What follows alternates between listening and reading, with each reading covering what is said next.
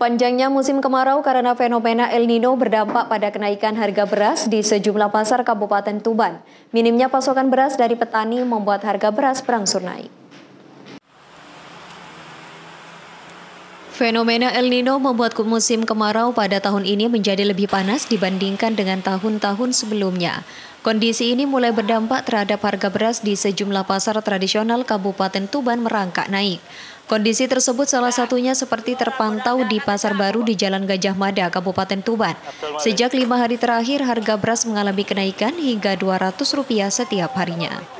Beras kualitas medium yang sebelumnya dijual antara 10.800 hingga 11.000 per kilogram, kini naik menjadi 11.800 hingga 12.000 per kilogram.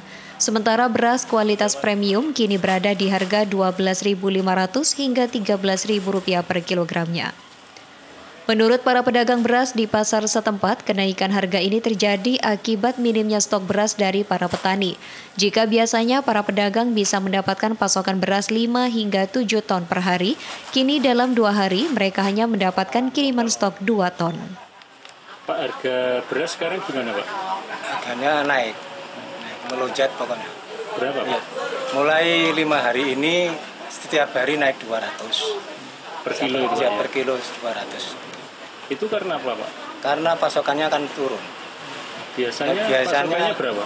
biasanya kalau setiap hari itu ada 5 sampai 7 ton tapi sekarang kadang dua hari tidak ada yang masuk tidak ada yang kirim ya, ya.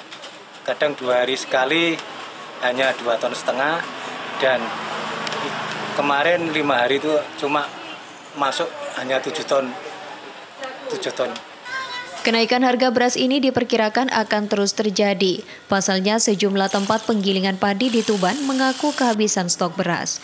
Kondisi ini terjadi akibat tidak adanya petani yang panen akibat kemarau panjang yang panas dampak fenomena El Nino. Tim Liputan JTVM